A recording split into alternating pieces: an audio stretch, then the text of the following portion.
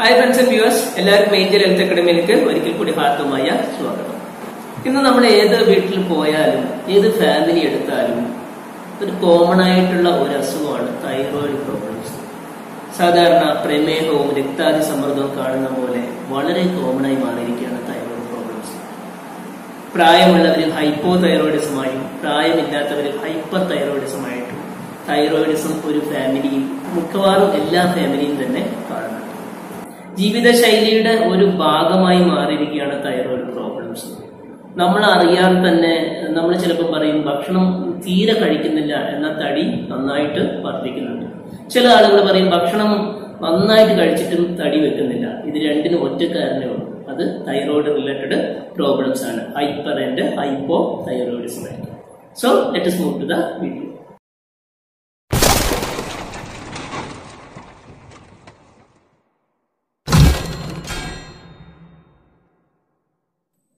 thyroid problems part one ആദ്യം thyroid ഗ്രന്ഥിയെപ്പറ്റിയും അതിന്റെ ഫങ്ഷൻസ് എന്തെല്ലാം എന്തെല്ലാമാണെന്നും ഒന്ന് നോക്കാം. നമ്മുടെ ശരീരത്തിലെ ഏറ്റവും വലിപ്പം കൂടിയ നാളികളില്ലാത്ത ഒരു അന്തസ്രാവി ഗ്രന്ഥിയാണ് തൈറോയിഡ് ഗ്രന്ഥി. അതിന്റെ പ്രധാന ധർമ്മം നമ്മുടെ ശരീരത്തിലെ ഉപാപചയ പ്രക്രിയകളെ നിയന്ത്രിക്കുക എന്നുള്ളതാണ്. നമ്മുടെ കഴുത്തിന് മുൻഭാഗത്ത് ശബ്ദനാളത്തിന് അല്ലെങ്കിൽ ആഡംസ് ആപ്പിളിന് തൊട്ടു താഴെ ഒരു ബട്ടർഫ്ലൈ ഷേപ്പിൽ കാണപ്പെടുന്ന ഗ്ലാൻഡാണ് തൈറോയിഡ് ഗ്ലാൻഡ്. ശ്വസനനാളിയുടെ ഇരുവശത്തായി ഇതിന് രണ്ട് ദളങ്ങളുണ്ട്. അത് റൈറ്റ് ആൻഡ് ലെഫ്റ്റ് ലോബ് എന്നറിയപ്പെടുന്നു. ഈ ദളങ്ങളെ ഇസ്തുമസ് എന്ന കല കൊണ്ട് ബന്ധിപ്പിച്ചിരിക്കുന്നു. ഇതിന്റെ ഭാരം ഏകദേശം ഇരുപത് മുതൽ നാൽപ്പത് ഗ്രാം വരെയാണ്. തൈറോയിഡ് ഗ്രന്ഥി രണ്ട് തരം കോശങ്ങളാൽ സ്രവ കോശങ്ങളാൽ നിർമ്മിതമാണ്. ഒന്ന് പുടക കോശങ്ങൾ അല്ലെങ്കിൽ ഫോളിക്കുലർ സെൽസ് എന്നും രണ്ട് വ്യതിരിക്ത പുടക കോശങ്ങൾ അല്ലെങ്കിൽ പാരാ ഫോളിക്കുലർ സെൽസിൽ നിന്നും. ഹോർമോൺ ഉൽപാദനം പുടക കോശങ്ങളിൽ നിന്ന് ഭക്ഷണത്തിൽ നിന്ന് ലഭിക്കുന്ന അയഡിൻ കൺവേർട്ട് ചെയ്തിട്ട് തൈറോക്സിൻ ടി ഫോറും അതുപോലെ tri iodo thyronine T three എന്നീ ഹോർമോണുകൾ ഉൽപ്പാദിപ്പിക്കുന്നു. ഹോർമോൺ ഉൽപ്പാദനത്തിന് ആവശ്യമായ മഞ്ഞ വസ്തുക്കൾ കൊണ്ട് പുടക കോശങ്ങൾ നിറഞ്ഞിരിക്കുന്നു. വ്യതിരിക്ത കോശങ്ങൾ സാധാരണയായി പുടക കോശങ്ങൾക്കിടയിൽ സിംഗിളായോ അതോ ചെറിയ കൂട്ടങ്ങളായോ ആണ് കാണപ്പെടുന്നത്. ഇവ തൈറോ കാൽസിറ്റോണിൻ എന്ന ഒരു ഹോർമോൺ ഉൽപ്പാദിപ്പിക്കുന്നു. നമ്മുടെ അസ്ഥികളിലുള്ള കാൽസ്യം രക്തത്തിലേക്ക് പ്രവഹിക്കുന്നത് സാവകാശത്തിലാക്കുക എന്നതാണ് ഈ ഹോർമോണിന്റെ ധർമ്മം. തൈറോയ്ഡ് ഗ്രന്ഥിയുടെ പ്രവർത്തനത്തെ നിയന്ത്രിക്കുന്നത് നമ്മുടെ മസ്തിഷ്കത്തിലെ ഹൈപ്പോതലാമസും അതുപോലെ പിറ്റ്യൂട്ടറി ഗ്ലാൻഡിന്റെ മുൻഭാഗവും ആണ്. തൈറോയിഡ് ഉത്തേജക ഹോർമോണായ തൈറോട്രോപ്പിൻ അല്ലെങ്കിൽ തൈറോയ്ഡ് സ്റ്റിമുലേറ്റിംഗ് ഹോർമോൺ പിറ്റ്യൂട്ടറി ഗ്രന്ഥിയുടെ തൈറോട്രോപ്പിക് കോശങ്ങളാണ് ഉൽപ്പാദിപ്പിക്കുന്നത്. ഇവയാണ് രക്തത്തിലെ തൈറോയ്ഡ് ഹോർമോണിന്റെ സാന്ദ്രത നിർണയിക്കുന്നത്. നമ്മുടെ ശരീരത്തിൽ തൈറോയ്ഡ് ഹോർമോൺസിന്റെ അഭാവം ഉണ്ടാകുമ്പോൾ അല്ലെങ്കിൽ കുറയുകയാണെങ്കിൽ ആ ഇൻഫർമേഷൻ ഉടനെ ഹൈപ്പോതലാമസിലും പിറ്റ്യൂട്ടറി ഗ്ലാൻഡിലും എത്തിച്ചേരുന്നു. ഹൈപ്പോതലാമസ് ഉടനെ തൈറോയ്ഡ് റിലീസിംഗ് ഹോർമോൺ സെക്രീറ്റ് ചെയ്ത് പിറ്റ്യൂട്ടറി ഗ്ലാൻഡിനെ തൈറോയ്ഡ് സ്റ്റിമുലേറ്റിംഗ് ഹോർമോൺ സെക്രീറ്റ് ചെയ്യാൻ ഉത്തേജിപ്പിക്കുന്നു. ഈ തൈറോയ്ഡ് സ്റ്റിമുലേറ്റിംഗ് ഹോർമോൺ ആണ് തൈറോയ്ഡ് ഗ്ലാൻഡിനെ തൈറോക്സിൻ ടി ഫോറും ടി ത്രീയും ഉൽപ്പാദിപ്പിക്കാൻ ഉത്തേജിപ്പിക്കുന്നത്. അങ്ങനെ നമ്മുടെ ശരീരത്തിൽ തൈറോയ്ഡ് ഹോർമോണിന്റെ അളവ് ക്രമമായി നിലനിർത്തുന്നു. പാരാ തൈറോയ്ഡ് ഗ്രന്ഥി. തൈറോയ്ഡ് ഗ്രന്ഥികളുടെ പിൻവശത്തായി പയറിനോളം വലിപ്പവും അണ്ടാകൃതിയുമുള്ള രണ്ടു ജോഡി മുത്തു പതിപ്പിച്ച പോലെയുള്ള ഗ്രന്ഥികളാണ് പാരാതൈറോയ്ഡ് ഗ്രന്ഥികൾ. ഇവ ഉൽപ്പാദിപ്പിക്കുന്ന ഹോർമോണുകളുടെ പ്രധാന ധർമ്മം രക്തത്തിലെ കാൽസ്യത്തിന്റെ അളവ് നിയന്ത്രിക്കുക എന്നുള്ളതാണ്. ഇവയുടെ അമിത പ്രവർത്തനം ഹൈപ്പർ പാരാതൈറോയിഡിസം എന്നറിയപ്പെടുന്നു അവ അസ്ഥികളുടെ തേയ്മാനത്തിനും മൂത്രാശയ കല്ലുകൾ ഉണ്ടാകുന്നതിനും കാരണമാകുന്നു. ഇവയുടെ പ്രവർത്തന കുറവ് ഹൈപ്പോ പാരാതൈറോയിഡിസം എന്നാണ് അറിയപ്പെടുന്നത്. തൈറോയ്ഡ് ഹോർമോണുകളായ തൈറോക്സിൻ ടി ഫോർ അതുപോലെ ടി ത്രീയുടെ പ്രധാന ധർമ്മങ്ങൾ ഓക്സിജനെയും പോഷകങ്ങളെയും ശരീരത്തിന് ആവശ്യമായ ഊർജവും താപവുമാക്കി മാറ്റിക്കൊണ്ട് നമ്മുടെ ശരീരത്തിലെ ഉപാപചയ പ്രവർത്തനങ്ങളുടെ നിരക്ക് നിർണയിക്കുക എന്നതാണ്. അതുകൂടാതെ അഞ്ചു വയസ്സുവരെ ഇവ മനുഷ്യന്റെ മസ്തിഷ്ക വികാസത്തിൽ പ്രധാന പങ്ക് വഹിക്കുന്നു. ശൈശവത്തിലും കൗമാരത്തിലും വളർച്ചയെ ഉത്തേജിപ്പിക്കുന്നതും അസ്ഥികളുടെ വളർച്ചയെ ത്വരിതപ്പെടുത്തുന്നതും ഈ ഹോർമോണുകളാണ്. ആജീവനാന്തം ഇവ കരൾ വൃക്ക ഹൃദയം അസ്ഥിപേശികൾ എന്നിവയെയും സ്വാധീനിക്കുന്നു. ഈ ഹോർമോണുകളുടെ അളവുകൾ നിർണയിച്ചാണ് തൈറോയിഡ് പ്രോബ്ലംസ് കണ്ടെത്തുന്നത്. അതിന് തൈറോയിഡ് ഫങ്ഷൻസ് ടെസ്റ്റ് എന്നാണ് പറയുന്നത്.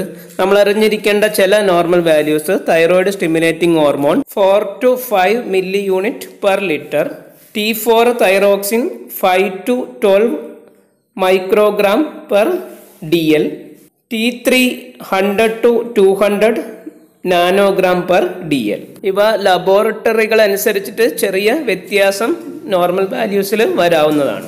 ആർക്കൊക്കെയാണ് തൈറോയ്ഡ് ഫങ്ഷൻസ് ടെസ്റ്റ് ചെയ്യേണ്ടതെന്ന് നോക്കാം. തൈറോയ്ഡ് പ്രോബ്ലം സസ്പെക്ട് ചെയ്യുന്നവർ ഫാമിലി ഹിസ്റ്ററി ഉള്ളവർ പിന്നെ ഹൈപ്പർ അല്ലെങ്കിൽ ഹൈപ്പർ തൈറോയിഡത്തിന്റെ സിംറ്റംസ് കാണിക്കുന്നവർക്ക് ടോട്ടൽ തൈറോയ്ഡ് സ്റ്റിമുലേറ്റിംഗ് ഹോർമോണും ടി ഫോറും ടി ത്രീയും ടെസ്റ്റ് ചെയ്യണം.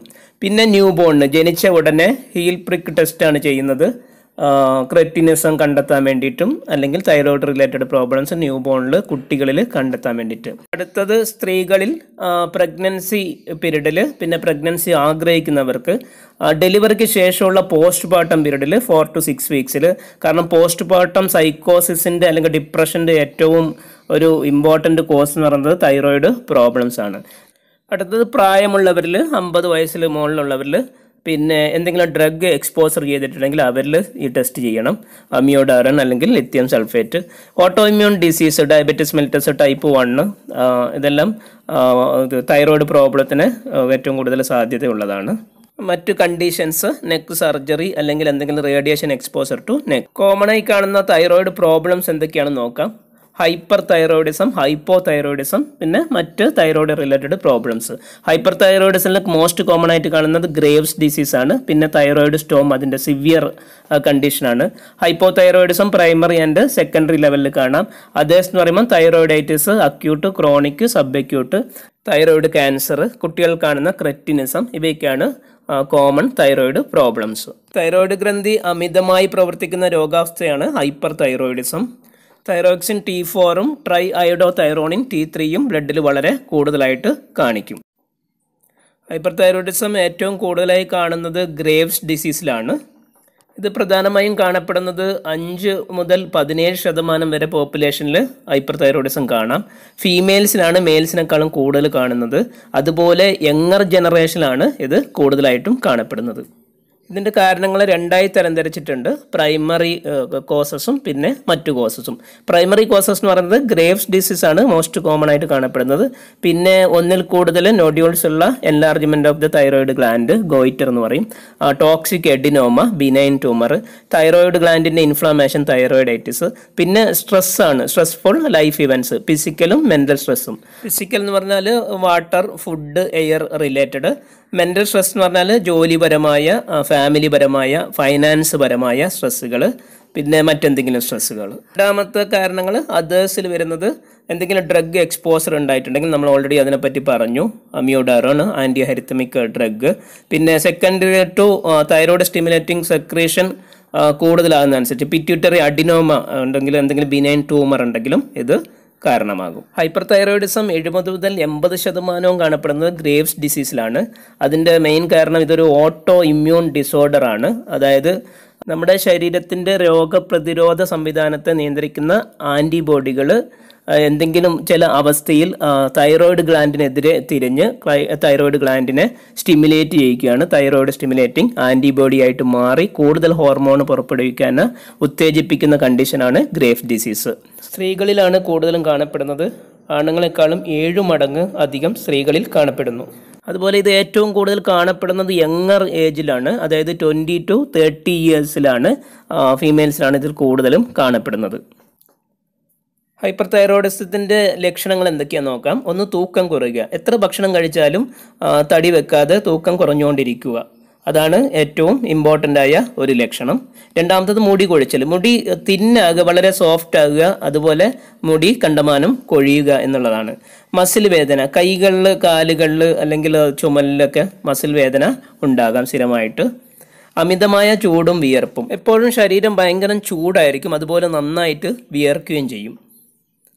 ഹൃദയമെടുപ്പ് കൂടുന്ന അവസ്ഥ അതുപോലെ കിതപ്പ് അനുഭവപ്പെടുന്ന അവസ്ഥ ഉണ്ടാകും. അടുത്തത് ആർത്തവത്തിലുണ്ടാകുന്ന വ്യതിയാനങ്ങൾ. ഒന്നെങ്കിൽ വല്ലാതെ താമസിച്ച് ആർത്തവം നടക്കുക അല്ലെങ്കിൽ ആർത്തവം ഇല്ലാതിരിക്കുക ഇല്ലെങ്കിൽ ആർത്തവത്തിലെ ബ്ലീഡിങ്ങിന്റെ ഫ്ലോ വളരെ കുറവായിരിക്കുക. അടുത്തത് തൈറോയിഡ് ഗ്രന്ഥിയുടെ വീക്കമാണ്. അത് ഗോയിറ്റർ എന്നാണ് അറിയപ്പെടുന്നത്. കഴുത്തിൽ തൈറോയിഡ് ഗ്രന്ഥി വീർത്ത് പുറത്തേക്ക് കാണുന്ന വിധത്തിൽ വരുന്നതാണ് ഗോയിറ്റ് ഹൈപ്പർ തൈറോയിഡിസം നീർക്കെട്ടുണ്ടാക്കും. അപ്പോൾ അതുകൊണ്ട് വയറിൽ വെള്ളം കെട്ടി നിൽക്കുന്ന പോലെ തോന്നും അല്ലെങ്കിൽ ഇടവരുത്തും അത് വയറിന് കനമുണ്ടാക്കും. വയറിളക്കം ഒരു കോമൺ സിംറ്റമാണ് ഹൈപ്പർ തൈറോയിഡിസത്തിന്റെ അതുപോലെ വന്ധ്യതയുടെ ഒരു പ്രധാന കാരണവും ആ തൈറോയിഡ് പ്രോബ്ലംസ് തന്നെയാണ്. അമിതമായ വിശപ്പുണ്ടാവുക. കണ്ണുകൾ ഓർബിറ്റൽ ക്യാവിറ്റിയിൽ നിന്ന് പുറത്തോട്ടേക്ക് തുറച്ചു നിൽക്കുക. അനാവശ്യമായ ദേഷ്യവും അതുപോലെ ടെൻഷനും ഉണ്ടാവുക. Depressions and mood swings depression പോലുള്ള പ്രശ്നങ്ങൾ ഉണ്ടാകും. എപ്പോഴും ഒറ്റയ്ക്ക് ഇരിക്കുക. അതുപോലെ ഡെലിവറിക്ക് ശേഷമുള്ള ഡിപ്രഷന്റെ പോസ്റ്റ് പാർട്ടം സൈക്കോസിസിന്റെ ഏറ്റവും പ്രധാന കാരണം തൈറോയ്ഡ് പ്രോബ്ലംസ് തന്നെയാണ്. നാഡീ സംബന്ധമായ പ്രശ്നങ്ങൾ അതായത് ട്രമേഴ്സ് കൈകളും കാലുകളും വിറയ്ക്കുന്ന ഒരു അവസ്ഥ ഇവയൊക്കെയാണ് ഹൈപ്പർ തൈറോയിഡിസത്തിന്റെ പ്രധാന ലക്ഷണങ്ങൾ. ഹൈപ്പർ തൈറോയിഡിസം തൈറോ ടോക്സിക്കോസിസ് എന്ന് അറിയുന്ന അറിയപ്പെടുന്നുണ്ട്. എക്സസീവ് തൈറോയ്ഡ് ഹോർമോൺ ശരീരത്തിൽ കാണപ്പെടുവാണ്. അതോടൊപ്പം തന്നെ തൈറോയിഡ് സ്റ്റിമുലേറ്റിംഗ് ഹോർമോണിന്റെ അളവ് കുറഞ്ഞു കാണുന്ന ഒരു അവസ്ഥയാണ് thyrotoxicosis hyperthyroidism control ചെയ്യുന്നത് അല്ലെങ്കിൽ മാനേജ് ചെയ്യുന്നത് രണ്ട് കാര്യങ്ങൾ കൊണ്ടാണ്. ഒന്ന് use of radiation. Radiation exposure ചെയ്യുക തൈറോയിഡ് ഗ്ലാൻഡിനെ. അതിനുപയോഗിക്കുന്നത് radio isotope iodine one three one ആണ്. അത് ഹൈപ്പർ ആക്റ്റീവ് തൈറോയിഡ് സെൽസിനെ നശിപ്പിക്കാൻ സഹായിക്കുന്നു. പിന്നെ ആന്റി തൈറോയിഡ് മെഡിസിൻസ് ആണ് പിന്നെ കൊടുക്കുന്നത്. രണ്ട് തരം കോമൺ മെഡിസിൻസ് ആണ് സാധാരണയായിട്ട് ഉപയോഗിക്കുന്നത്. ഒന്ന് പ്രൊഫൈൽ തയോ യുറാസിലും രണ്ട് മെത്തിമാസോൾ ആണ് ഉപയോഗിക്കുന്നത്. അല്ലെങ്കിൽ ടാപ്പാസോൾ ആണ് ഉപയോഗിക്കുന്നത്. രാവിലെ വെറും വയറ്റിലാണ് കഴിക്കേണ്ടത്. ഹൈപ്പർ തൈറോയിഡിസം കൊണ്ടുണ്ടാകുന്ന സങ്കീർണതകളിൽ ഒന്ന് ഹാർട്ട് പ്രോബ്ലമാണ് കണ്ടമാനം ഹാർട്ട് ബീറ്റ് ചെയ്യുന്ന ആർട്ടറിൽ ഫിബ്രിലേഷൻ അല്ലെങ്കിൽ ഹാർട്ട് ഫെയിലർ ആകുക അതുപോലെ അവസാനം അത് കോമ സ്റ്റേജിലേക്ക് എത്തുന്നതാണ്. പിന്നെ രണ്ടാമത്തെ ബ്രിട്ടിൽ ബോൺ എന്ന് പറഞ്ഞാൽ ഓസ്റ്റിയോ പൊറോസിസ് അസ്ഥി തേയ്മാനം ഉണ്ടാകുക പിന്നെ ഐ പ്രോബ്ലംസ് ഉണ്ടാകുക ഡബിൾ വിഷൻസ് ഉണ്ടാകുക. പിന്നെ തൈറോയിഡ് സ്റ്റോം എന്ന് പറഞ്ഞ ഒരു എമർജൻസി കണ്ടീഷൻ ഉണ്ട് എക്സസീവ് തൈറോയിഡ് പ്രൊഡക്ഷൻ കൊണ്ടുണ്ടാകുന്നതാണ് തൈറോയിഡ് സ്റ്റോം. ഹൈപ്പർ തൈറോയിഡിസം ശരിയായി ചികിത്സിച്ചില്ലെങ്കിൽ അത് തൈറോയിഡ് സ്റ്റോമിലേക്ക് മാറും. അതൊരു ലൈഫ് ത്രെട്ടണിങ് കണ്ടീഷൻസ് ആണ്. അവിടെ തൈറോയിഡ് ഗ്ലാൻഡിന് ഇൻഫെക്ഷൻസ് ഒക്കെ ഉണ്ടാകും അതിന്റെ കൂടെ. ഹൈ ഹൈ ഫീവർ ഉണ്ടാവും നിർജലീകരണ അവസ്ഥയുണ്ടാവും പൾസ് റേറ്റ് കണ്ടമാനം കൂടും. അതുപോലെ ഹാർട്ടിന്റെ ഫങ്ഷൻസ് ഹാർട്ട് ഫെയിലർ ആകും പിന്നെ കോമയിലോട്ട് പോകുന്ന സ്റ്റേജാണ്. വളരെ ഡേഞ്ചറസ് ആയ ഒരു സ്റ്റേജാണ് ഇത്. അതുപോലെ ഹൈപ്പർ തൈറോയിഡിസം ട്രീറ്റ് ചെയ്യുമ്പം പിന്നീട് അത് ഹൈപ്പോ തൈറോയിഡിസം ആയിട്ടും മാറിപ്പോകാവുന്നതാണ്. തൈറോയിഡ് പ്രോബ്ലംസ് പാർട്ട് ടു വീഡിയോയിൽ ഹൈപ്പോ തൈറോയിഡിസിനെ പറ്റി എക്സ്പ്ലെയിൻ ചെയ്യുന്നതാണ്.